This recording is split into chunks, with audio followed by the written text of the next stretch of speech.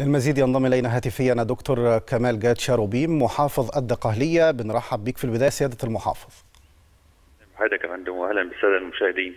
أهلا وسهلا بك يا فندم، يعني جملة من التكليفات والنقاشات المهمة شهدها اجتماع مجلس المحافظين برئاسة رئيس الوزراء مصطفى مدبولي، أبرز تلك التكليفات برأيكم والآليات المطروحة للتنفيذ. الحقيقة من أهل من أهم التكليفات اللي هو الاستعداد لشهر رمضان المبارك وطبعا تجهيز الأسواق وتجهيز وتحديد الأماكن اللي, هتتعمل فيها يعني الأسواق توفير السلع الأساسية.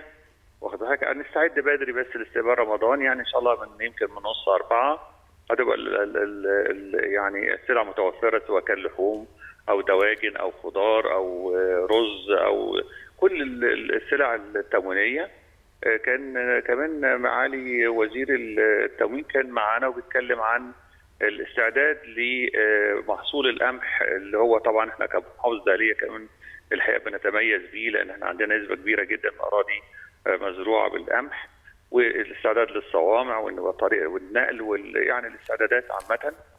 ثم كان في الحقيقة اللي هي الملفات اللي دايما بتتناقش خاصة بتقنين اراضي الدولة والإسراع من تجهيز العقود والتيسير على المواطنين. في ملف آخر هو طبعا في ملف كل يعني يمكن المستمر دايما هي النظافة والمخلفات وعملية التدوير والاستعداد والتطوير اللي بيحصل والملف بتابعه مع رئيس الوزراء من آن لآخر إيه التطورات اللي بتحصل في ملف النظافه من كل شهر.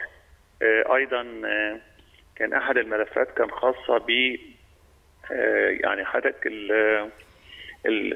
يعني التعاون مع إحنا وإحنا بنستقبل كمان مباريات كأس الأمم الأفريقية نعم. الاستعدادات اللي موجودة وتوفير اللي طبعا في بعض المدن والمحافظات هتتعمل عليها مباريات وبعض المحافظات الأخرى هنحتاج نعمل صالات صالات عرض كبيرة عشان الجمهور كمان يبقى متابع آه وده آه يعني اهتمام كبير إن طبعا إحنا الدورة دي يمكن كانت آخر مرة كانت 2006 النهارده بعد 13 سنة أو بعد 12 سنة آه بتجينا مرة ثانية فالمواطنين في الشغل إنه طبعا يتفرجوا على هذه المباريات فنحاول ييسر تبقى موجودة المباريات في كل محافظة من محافظات مصر.